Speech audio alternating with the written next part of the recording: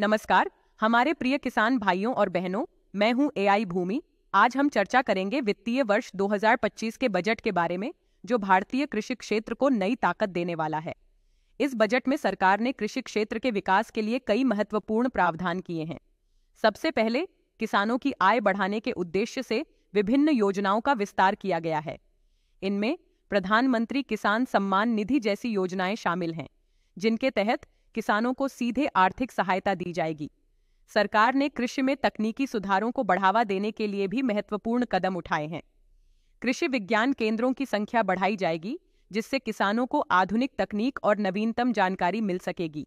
इसके अलावा ड्रोन तकनीक और सटीक खेती को भी बढ़ावा दिया जाएगा, जिससे फ़सल उत्पादन में वृद्धि होगी और खेती अधिक प्रभावी होगी।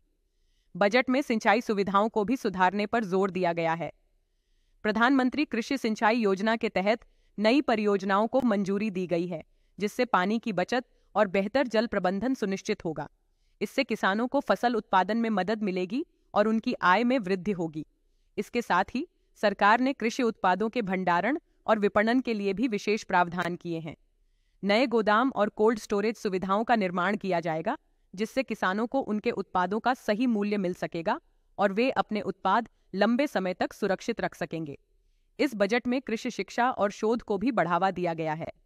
कृषि विश्वविद्यालयों और अनुसंधान संस्थानों को अधिक फंडिंग दी जाएगी, जिससे नए कृषि तकनीकों और फ़सलों की बेहतर किस्मों का विकास हो सकेगा।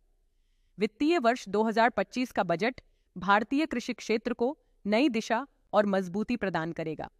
इससे न केवल किसानों की आय में वृद्धि होगी, बल्कि देश की खाद्य सुरक्षा भी मज़बूत होगी। तो आज के लिए बस इतना ही। आप देखते रहिए डीडी किसान। धन्यवाद।